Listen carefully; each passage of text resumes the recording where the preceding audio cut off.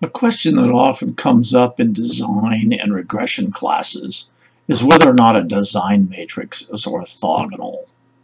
Here's a quick way to use Excel to check a design matrix for orthogonality. First, define a range that contains the design matrix and give it a name. I've cleverly named this one X. Straight out of the textbooks. Then calculate the product of the transpose of X with X. Since this is a 3 by 12 matrix, the transpose will be a 12 by 3 matrix.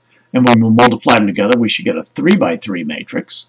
So here we go, using the Excel matrix multiplication facility.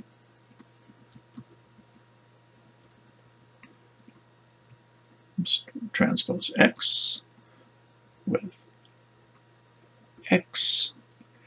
And then use the magic keystroke, Control Shift Enter.